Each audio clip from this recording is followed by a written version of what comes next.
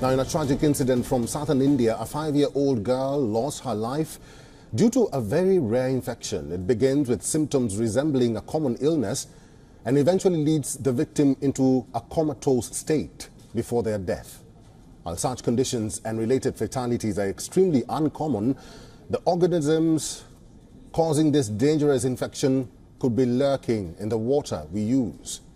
The so-called brain-eating amoeba was discovered in 1965. Its formal name is Naegleria fowleri. The single-celled organism thrives in warm climates and can be found in freshwater lakes, rivers, and even hot springs. In addition to natural sources, it may also be present in swimming pools, tap water, or contaminated water. When this amoeba enters the human body, it causes severe inflammation and eventually destroys brain tissue.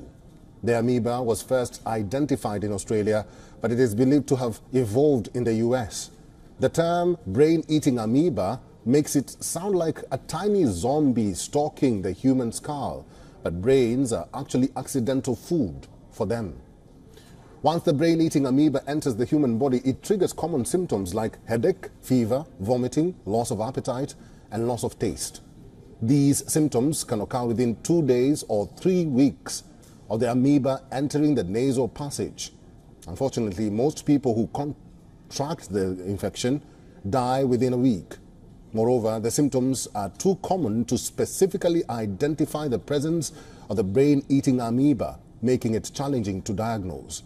Experts say if cases of brain-eating amoeba are reported in the vicinity, then one should avoid swimming in lakes or rivers. Doctors also advise using distilled or boiled tap water when rinsing your sinuses or cleansing your nasal passages. For all the latest news, download the WION app and subscribe to our YouTube channel.